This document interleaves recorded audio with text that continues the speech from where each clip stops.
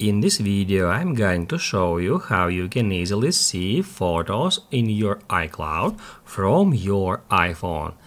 Be sure to watch the video to the very end so you don't make any mistakes. Let's get started and uh, first off open up settings and then tap right here at the very top at your name.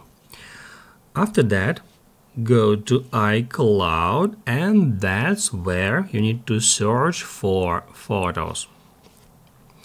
When we get into photos, basically guys, all we have to do is just turn on that option, which is called sync this iPhone. Just tap at this toggle to enable it.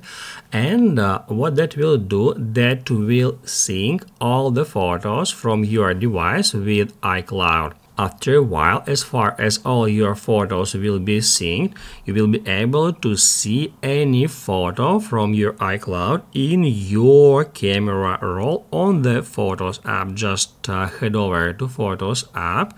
Then you can open up any album or just go to Recents or just tap right here where it says Library to open up your entire photos library and that's where we can get access to any uh, of our media files stored in our iCloud and our device.